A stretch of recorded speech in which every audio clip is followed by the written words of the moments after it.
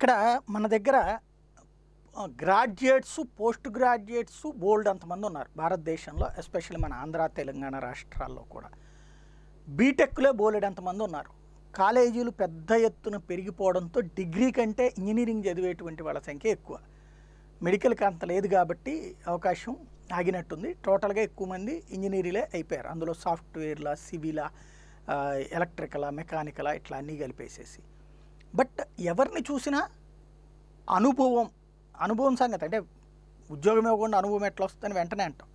But skill అనేటువంటిది కరువు.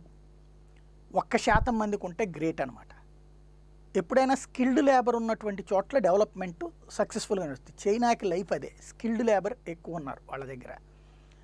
అదే సందర్భంలో ఇప్పుడు ఈ జపాను ఇట్లాంటి చోట్ల కూడా స్కిల్డ్ లేబర్ ఎక్కువ. అంటే వాళ్ళ చదువులోనే ఆ, నైపుణ్యం నేర్పుతారు. మన దగ్గర చదువు అంటే వాళ్ళు పాపం ఇంటర్మీడియట్ చదివేటప్పుడు లెక్కలు కూడా బట్టి బట్టిస్తారు ఆ తర్వాత అసలు దాన్ని ఏమంటాము?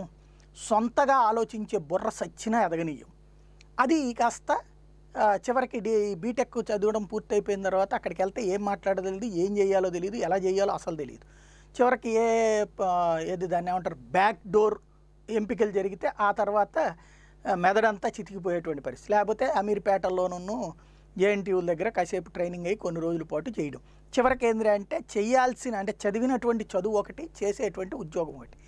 ఈ దశలో జిల్లాకు ఒక్కొక్కటి స్కిల్ యూనివర్సిటీతో పాటుగా నియోజకవర్గానికి ఒక స్కిల్ డెవలప్మెంట్ కళాశాల పెట్టాలన్నటువంటిది రాష్ట్ర ప్రభుత్వం నిర్ణయించింది. వాస్తవంగా కేంద్ర ప్రభుత్వం స్కిల్ డెవలప్మెంట్ కార్పొరేషన్ పెట్టి చాలా ఏళ్ళు అయింది నరేంద్ర మోడీ వచ్చిన తర్వాత ఈ పరిస్థితి. ఎందుకంటే మన దగ్గర అన్ని దిగుమతులు చేసుకోవడం ఏ ముఖ్యమైనవి అయినా దిగుమతులు చేసుకోవడం ఇంక్లూడింగ్ మొద వ్యాక్సిన్ అయినా ఇదివరకు అదే గతి ఉండేది.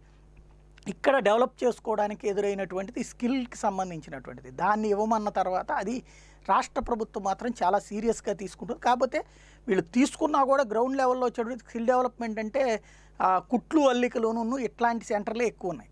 అందుకని ఇప్పుడు యూనివర్సిటీలు వీటి మీద కాన్సన్ట్రేషన్ స్టార్ట్ చేశారు. అది సక్సెస్ అయితే బాగానే ఉంటుంది.